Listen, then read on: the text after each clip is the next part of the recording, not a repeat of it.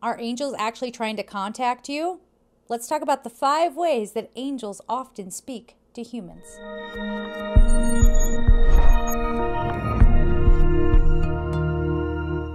Now, what some of you may not know is that there is an angelic light language. Now, this is not a language that is usually easily perceivable by most humans, and so the angels have to be able to get some sort of messages from their fifth and above frequencies to our third dimensional ego consciousness frequency.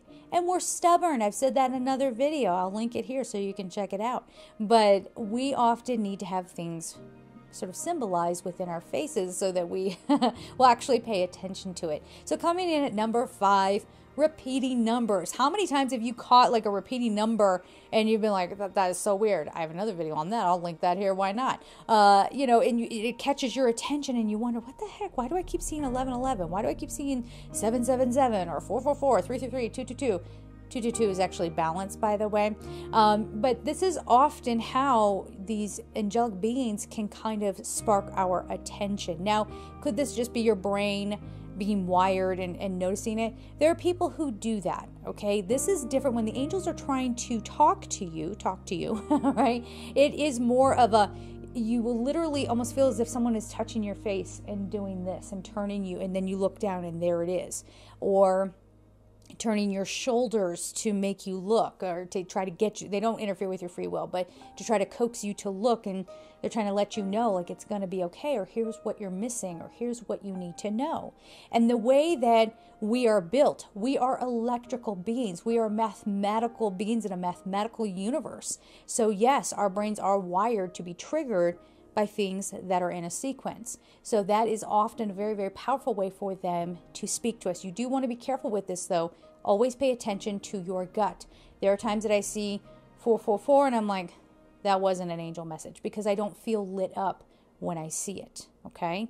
So pay attention to how you feel if you do see a number like that. Remember, it's more about those repeating numbers came out of nowhere rather than there's a building that I go by all the time and it has 444 on it.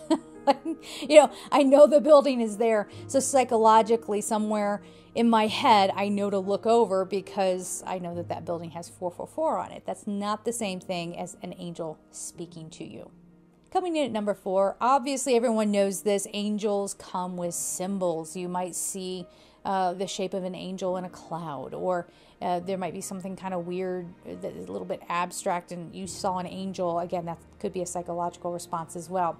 Uh, seeing white feathers, that's usually a big sign, especially when there's seemingly no reason to be seeing white feathers anywhere. Uh, I give the example one time that when I lived in New York City, we have pigeons everywhere, okay? So, like, if you saw a feather, it wasn't that big a deal, right? but I'm talking about there's like a pure white feather just in the middle of the grass in your backyard, and there's no seeming reason why it would be there. Same thing with rose petals. This is something that people don't often speak about, and it's absolutely a sign from the angels. It's also a sign of blessings. It is associated with Mother Mary as well. So there's this beautiful uh, sort of divine feminine energy when you smell roses and maybe there are no roses around, or suddenly somebody gives you a bunch of roses and they've never done that before, you know, or, or seeing the petals around. That's usually a sign from your angels as well. So when when you are you know, angels are trying to talk to you, really pay attention to what you're doing. What were you thinking? Were you freaking out about something? Were you ruminating about something? Pay attention to that and feel in your gut and throughout your whole body what does that do for you? Does it give you a sense of peace? Now, if you just look at it and go, mm, feather, again, maybe you live in New York City and you're like, nah, yeah, they're all over the place. Well, then maybe that wasn't a sign from your angels. Some other signs include pennies. People that, that feels more kitschy to me. I don't really buy into that. I don't think of the whole pennies from heaven thing, but if you do, that's wonderful. Really, it's about what kind of feeling does it inspire within you. But you'll often um, have maybe some freakier things happen. Again, be careful with this. We don't want sort of interloper souls coming in and posing, posing as angels and freaking you out and be like, oh, it's an angel, and it's not. But on occasion, if the angels are really trying to get your attention, you know, maybe you're spinning out about something and then all of a sudden you just feel the need to look down and there's a word that says later. okay, or something. It's like worry about it later, or your eye might be drawn to something that says relax, ease into it. You know, they'll use actual words on signs. And if you feel the need to look up inexplicably and you see it on a billboard or whatever, that's usually a way that they speak to you as well. People might also, whoever on a soul level is open to it, might speak through somebody. And I'm not, I'm not talking about mediumship necessarily, I'm speaking about suddenly somebody feels inspired to say something to you and they don't know where it came from. So, this is often a way that they will try to speak to you as well. Coming in at number three, your thoughts. Now, to be clear, angels never interfere with your free will. You'll hear me say that a million times. So, nothing happens without our permission. So, somewhere deep inside of you, you're okay with getting your messages through your thoughts. And maybe even you hear a sentence or something along those lines. Now, this is why we don't have, you know, skeptics, they don't really, they're not open to it. And so the angels don't disturb them. They don't come in. If they're, I'm sure their angels are sitting around waiting to be called upon, but if you don't, you know, if you're not into it, they're not going to come in and force a thought into your brain. Okay. They are protecting you still, whether you want to be a skeptic or not. But uh, if you're open to it, they will talk to you through your thoughts. So you will have a moment. This is something I love to do, especially when I know I'm spinning out and I start getting very into 3D reality and going, oh my gosh, how am I going to get this settled or that settled or do I am I going to have to fight this? I don't want to have to fight this, you know. And I'll just stop and I'll breathe and I'll say, show me or let me know. And sometimes a thought will pop into my head, you know, like Eh, I don't need to let them have control over me or why don't I just do this? the inspiration, okay? The inspiration. They speak to you through inspiration. So it could be a thought that turns into a feeling, it could also just come right from that inspiration. Either way, they're talking to you. Coming in at number two, dreams. Now, here's the thing with dreams angels will try to communicate with you when your ego consciousness is quieted down a little bit, but you still have that subconscious mind. So, when angels are trying to come through and help you with some messages, it hits up against our subconscious mind and there could be weird symbols and then your mind starts twisting it. So you might say well angels don't talk to me in my dreams. I have nightmares. That's not the angels. The angels would never come in. God's angels would never come in and do that to you okay?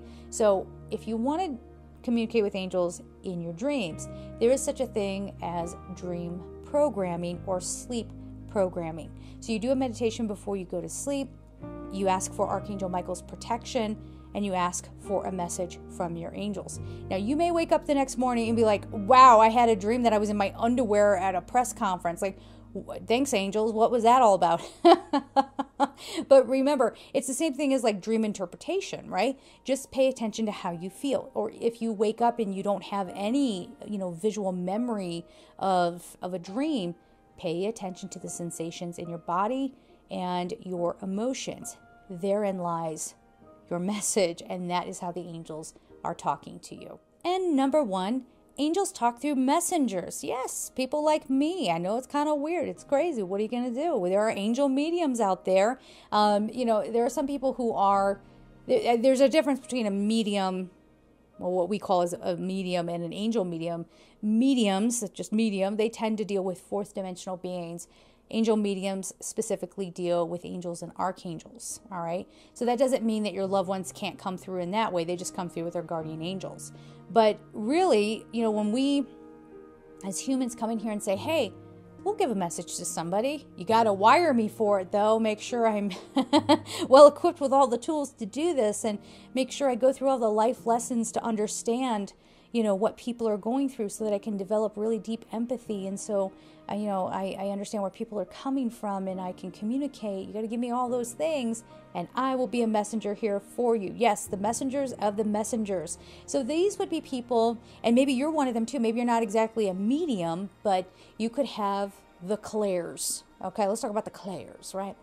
Sounds like eclairs like pastries I want a pastry now. Uh, so let's talk about the clairs. These are the sort of extra sensory abilities that people sometimes have. Um, people often go around saying, My gifts, my gifts, my gifts. And I don't like it when people say that. it's kind of weird. Oh, it's my gift that I can hear angels. Ooh. But, you know, I mean, if you want to develop these skills, you can do so. Just, it's imperative across the board, if you're ever going to tap into one of these clairs that we're going to be talking about, you have to do so with integrity and pure intention. This is one of the biggest reasons why, you know, a lot of times people will come to me and they want me to teach them mediumship, especially angelic mediumship, and I won't always do it. You're either equipped to do it or you're not. Um, and, and your intentions need to be there and you have to really understand why you want to do it because this isn't an easy gig by any stretch of the imagination. It's actually very very taxing on the physical body and on the mind the heart the soul you know maybe not the soul. Soul's got a lot of energy but you know i'm saying? Like it just feels draining sometimes. So the clairs let's talk about that. Clairsentient or clairsentient, depends on who you talk to. I say clairsentient. That is clear. Clear means clear, so that's clear feeling. This was uh, one of the first ways that angels would talk to me and through me. So it was, I would feel it and I would feel the need to say it to someone, and it would get me in trouble. And even though on a soul level I had agreed to do this, and I guess I thought it would be a good idea to just blurt things out at people on the other side and it would be fine. Once I got into the human body, I'm like, no, then people don't they, they don't make me popular. They don't want the cool kids don't want to hang out with me. right? So so I had to really, you know, even though you come in equipped, you still have to really sort of finesse it in this human body going along with your personality. So clairsentience is actually very, very common. This is the thing that you can you know that you have it. You've heard people say, well, you know when there's been a fight in the room you might guess if there's a tiger behind you, you know, you're going to sense it and feel it. And this is meant to protect you in, a very base kind of way. But this can also be one way that the angels are communicating to you and through you. The second kind of clair let's just get to it. Clairvoyance. I mean, come on, everybody here, everyone kind of uses that to say all kind of clairs, like you're clairvoyant. Clairvoyant is clear seeing, people who have visions. And yes, uh, if you tap into that, you will su- sometimes have like vignettes sort of flash through your mind, and that's how it happens for me. Um, I don't know anybody who sees things outside of them. Um, I'm sure people do. I I haven't met them, but yeah, I'm sure people do that as well. Um, especially the mediums who do like fourth dimensional mediumship and they're clairvoyant, they might actually see someone standing there and they can describe what they look like. It happens. It happens. I know there are going to be people in, in internet land going, this person's crazy. You're only saying that because you haven't experienced it. You'll be the first one coming and running to me, crying, "Oh my gosh, this freaky thing happened! I believe, I do believe." was it from Wizard of Oz? The lion going, I do believe. All right, so anyway, that is clairvoyance, clear seeing, having visions. Uh, clairaudience, which was my second level ability. So first I would feel it and then I would hear it. Uh, this gets a little tricky because if you're talking about, I'm not a psychologist, but if you are talking from like a psychological perspective, oops, this gets into schizotypal, doesn't it? Yes, a little bit. Um, thank God the DSM gives you nine shots to get out of that diagnosis. But um, last I heard, at least. But if you hear messages, uh, that's how I auto write. I can actually hear, um, and sometimes, again, it depends on where I'm at as a human and what I'm going through. So sometimes it'll hit me first as a feeling because that's that's my more natural um, ability. It hits that first, and then I hear the words. So that's definitely a way that angels could talk to you. So then there is claircognizant, which is clear knowing. These people, I've seen, this is kind of the sad one for people who do spiritual work and they're clear cognizant. They're the ones that try to give somebody a reading and they're just, it just is. And people are like, how do you know? And like, it just is. I just know. And people are like, eh. I think humans get a little turned off by that. If you're somebody who's claircognizant and you do a spiritual business or you do readings for people, leave your comments down below about what your experiences are. You might say, Michelle, what are you talking about? That doesn't happen to me. Um, but I've just seen people with that clear knowing. It does kind of rub people the wrong way. Um, not me. I see something beautiful going on, and I'm like, awesome. What else? What else can you tell me?